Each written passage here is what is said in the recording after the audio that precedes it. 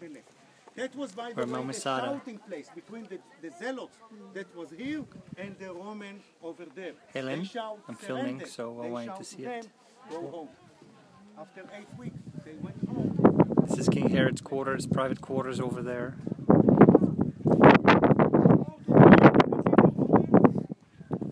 This is unbelievable, this place. Right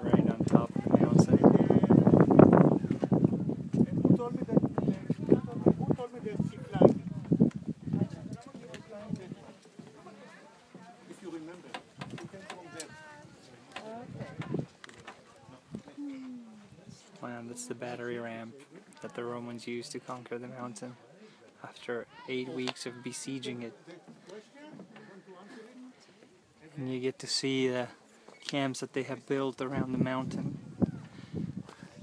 One of them is right over there. What a beautiful place.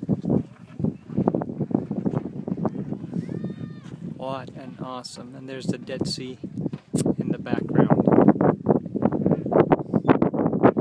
Fantastic.